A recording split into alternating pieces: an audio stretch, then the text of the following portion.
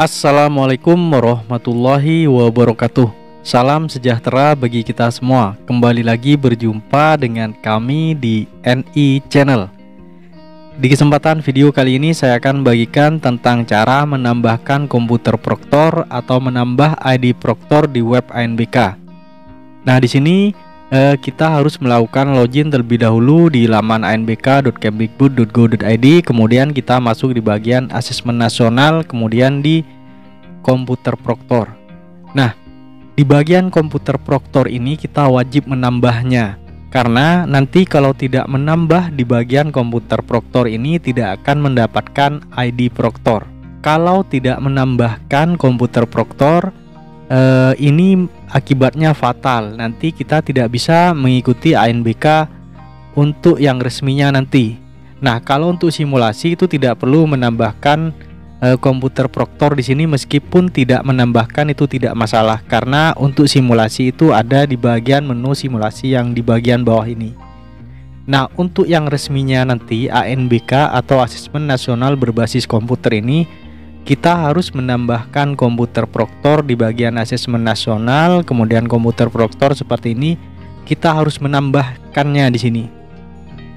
Nah, kalau kemarin untuk fitur menambahkan di sini belum aktif, jadi mumpung sekarang uh, fitur un untuk menambah komputer proktornya sudah aktif, jadi uh, kita lakukan untuk menambah komputer proktornya supaya nanti tidak telat lagi dan tidak bisa menambah komputer proktor nanti kalau lewat dari waktunya.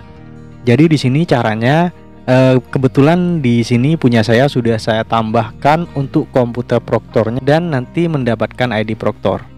Nah, untuk menambahkan di sini tinggal klik tambah.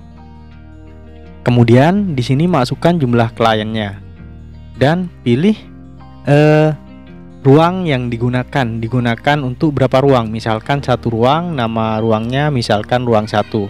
Kemudian kalau sudah simpan. Kalau di sekolah teman-teman eh, menggunakan dua ruang atau lebih, jadi di sini kita tinggal pilih. Nah, di sini maksimal 5 ruang.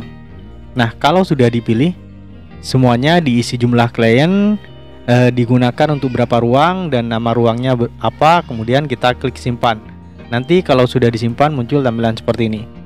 Kebetulan di sekolah kami hanya menggunakan satu ruang. Jadi eh, di sini ID proktornya hanya ada satu.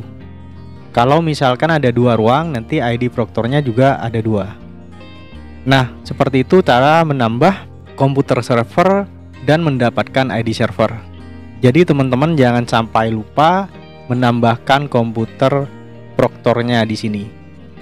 Kalau sampai lupa, akibatnya nanti fatal, yaitu tidak bisa mengikuti ANBK tahun 2022 ini. Nah, demikian semoga apa yang saya sampaikan ini bermanfaat bagi kita semua. Jangan lupa untuk terus mendukung channel ini dengan cara like, komen, dan subscribe. Terima kasih. Wassalamualaikum warahmatullahi wabarakatuh.